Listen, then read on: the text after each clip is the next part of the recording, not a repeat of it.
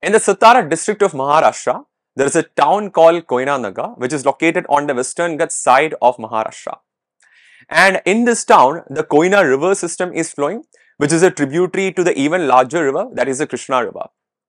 And across this river system, there was a dam which was constructed back in 1964, which is called as the Koyna Dam. And in the year 1967, that is three years, uh, almost like three years after the construction of this dam, this dam site witnessed an earthquake.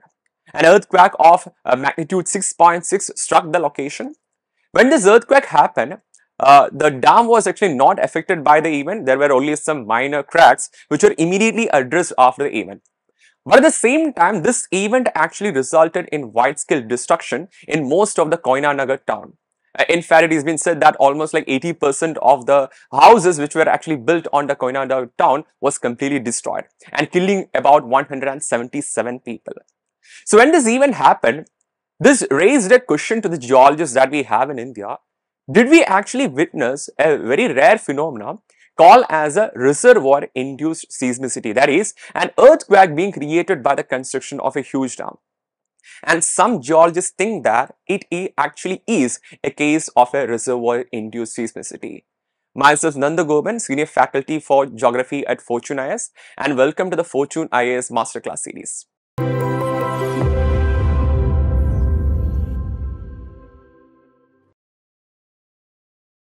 Before understanding the concept of this reservoir-induced seismicity or the reservoir-induced earthquake in a detailed fashion, we can just look on to as, as to how most of the earthquake that we can see in the vicinity are created. That is how most of the natural phenomena are actually found to be created. So, most of the earthquake which we actually see in the vicinity that you might have heard often uh, over the years are mainly created by the interaction of what is called as a tectonic plate. So in order to understand the concept of tectonic plate, you can imagine that the earth is divided into three different layers that is the crust, mantle and core which many of you might already know.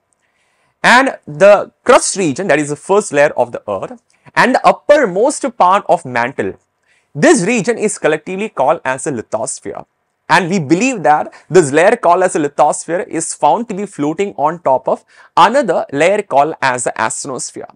Now, the details of lithosphere, asthenosphere, etc. is not that much importance for us. But what you need to understand is that this upper layer which I was referring to as the lithosphere, scientists believe that it is broken into a number of different fragments, which the scientists call as a tectonic plate.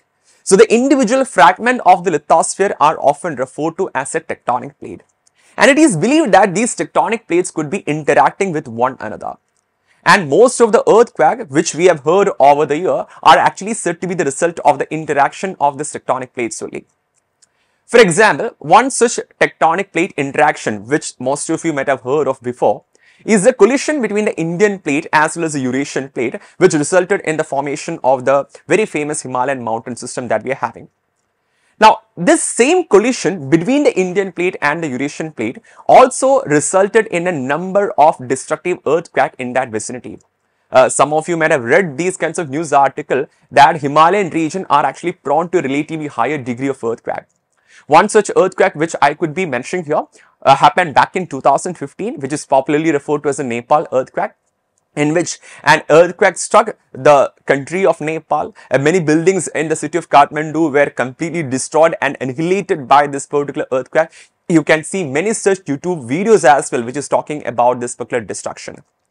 And when this event happened, why this earthquake happened? Very simple to understand because the Indian plate collided with Eurasian plate and the resultant stresses only created this mechanism. So most of the earthquake that you can see in the vicinity are actually said to be created by the tectonic plate interactions only. And these kinds of earthquake are what we generally call as a tectonic earthquake. Uh, in fact, these are one of the highest and one of the most destructive earthquakes which could be created around the world. And at the same time, uh, if you think about some human factors inducing earthquake, which we often call as induced seismicity. Sometimes certain human activities also could be inducing earthquake in a particular location. So if you're generally comparing the tectonic earthquake, which is a natural phenomena, and induced earthquake, which are created by human activity, which we'll be discussing about in a short while, we generally observe that the more common and the more destructive one are the tectonic earthquakes only. The induced seismicity phenomena or the induced earthquake which are created by the human activities are generally found to be low intensity earthquakes only. And I'm again uh, specifically highlighting this particular point. Uh, whenever you are hearing the word earthquake, most often it will be created by this tectonic earthquake phenomenon only. In fact, the 2004 Indian Ocean tsunami was actually created by one such tectonic earthquake which happened near to the island of Sumatra, which is part of the Indonesian island. When it comes to the induced seismicity, I mentioned that induced seismicity is actually an earthquake created by some kind of human activity. And some of the common human activities that we often talk about which can lead to earthquake. Uh, one such example I could be highlighting is the detonation of a nuclear bomb. For example, if you're detonating an atomic bomb, that will be releasing huge amounts of energy, which can again lead to the shaking of the earth. Because after all, the word earthquake simply means the shaking of the earth only. So rather than the collision and interaction of the tectonic plate, it could also be created by the detonation of this atomic bomb or you could be having a collapse of an underground mine. Multiple activities could be triggering, multiple human activities could be triggering earthquake mechanism. And those kinds of earthquakes are what we call as the induced seismicity. Within the induced seismicity, so we mentioned the fact that induced seismicity can be created by a number of human activity. One such specific human activity which can lead to this earthquake mechanism is the construction of a huge dam. The weight of the water which will be accumulated behind the dam that could be exerting a lot of stresses onto the underlying earth surface which could sometimes be triggering an earthquake in that location which is what we call as a reservoir induced seismicity that is an earthquake being created by the construction of a huge dam.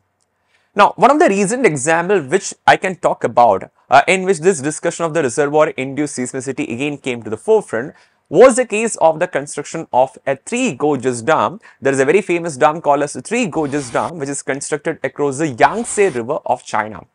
So Yangtze River is actually one of the longest river that we have in the world. In fact, it is the third longest river in the world after Nile and Amazon.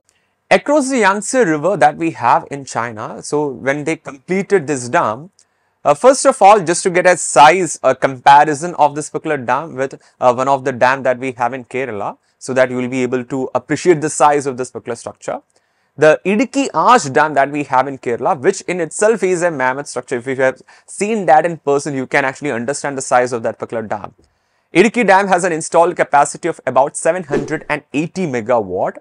But at the same time, the Three Gorges Dam, which is constructed in Yangtze, is said to be having an installed capacity of 22,500 megawatt, making it the largest hydroelectric project in the world. Uh, it's like extremely bigger construction. Uh, it is so big that the construction of this dam is even said to have slowed down the rotation speed of the earth. So you can just imagine the size of this particular structure which has been created.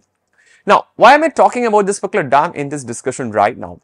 After the construction of this dam, which was completed back in 2003, the instances of landslide as well as some of the destructive earthquake is said to be on the rise in the immediate vicinity. Now, China officially says that though the construction of the dam might have created some ecological imbalances, but at the same time, they're denying the possibility of the earthquake being created by the construction of this dam. Anyway, after this construction of dam only, the discussion of the reservoir induced seismicity again came into the forefront in the international media as well. Even in the case of Koyna Nagar Dam earthquake, which I mentioned in the beginning, uh, the official stand is that some of the geologists who were actually part of the project actually deny the possibility of the weight of the dam actually leading to earthquake. When I talk about this reservoir induced seismicity, naturally there arises a question, is this something that we should be concerned about? Uh, the good news is that there are actually a lot of good news uh, in this particular discussion as well. When I talk about the reservoir induced seismicity, most of the so-called such reports which has been uh, highlighted around the world were mostly of very low intensity phenomena only. In fact, I can say that major events are extremely rare, very very rare in nature.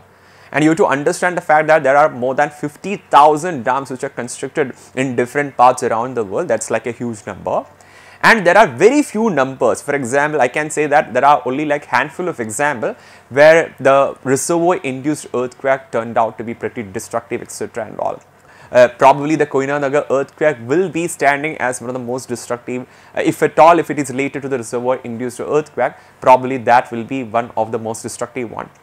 So what I'm trying to convey is that it is a pretty rare phenomena, very rare actually in nature.